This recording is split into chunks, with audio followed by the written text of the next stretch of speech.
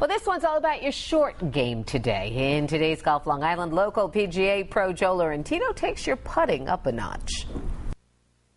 When you watch tour players putt, you'll notice how their ball rolls end over end. A perfect roll. Now, you can get that kind of roll by using range balls. Now, if you put a stripe on your golf ball to help you with alignment, you can do this too. But range balls give you an even clearer picture.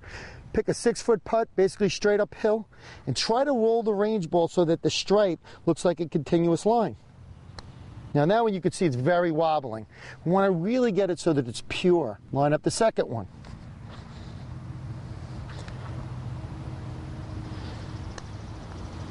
Just like that.